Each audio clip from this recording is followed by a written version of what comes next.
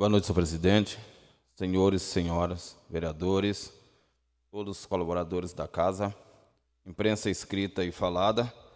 Quero parabenizar também o vereador Denilton pelas moção e aplauso, né, que foi as pessoas merecem, né?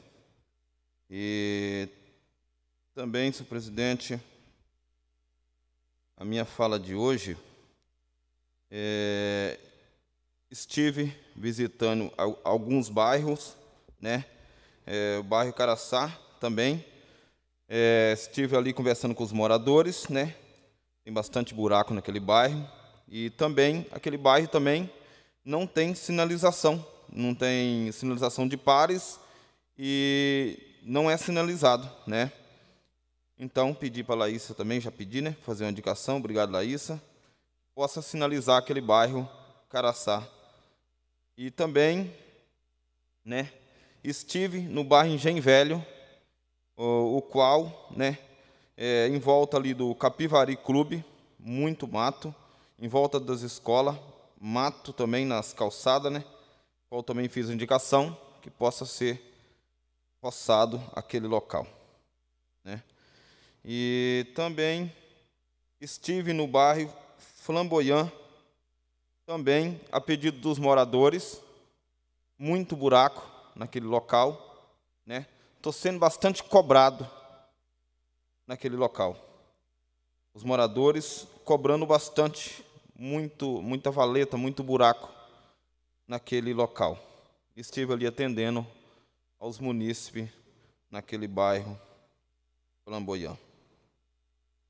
E também estive também, né, na reinauguração ali do novo local dos Corpo de Bombeiro, né, é, o qual, né, tinha bastante autoridade presente naquele local. Também quero parabenizar o executivo, o prefeito, né, e foi muito bom é, estar ali. Estava quase, tinha bastante vereador ali, né? o qual foi muito, muito bom estar ali junto à reinauguração do Corpo de Bombeiro, o qual faz um belo trabalho, né? O qual salvam vida, o qual está sempre atento a atender a população, acidente, sempre, né? E ali é um local bom, o acesso mais rápido para a cidade e também na rodovia ali, né, Canela Forte, rodovia do Açúcar. Então eles têm um acesso bem rápido. Perderam o acesso aqui de cima, né, que da SP 101, mas porém ficou mais próximo dentro da cidade e também na rodovia Canelo Forte, rodovia do Açúcar ali, o qual se acontecer algum acidente, dá para socorrer as pessoas mais rápido.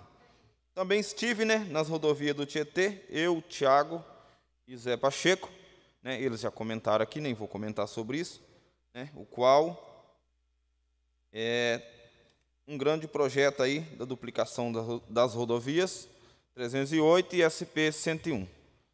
E por hoje é só, senhor presidente. É, obrigado a todos e uma boa noite e fique com Deus.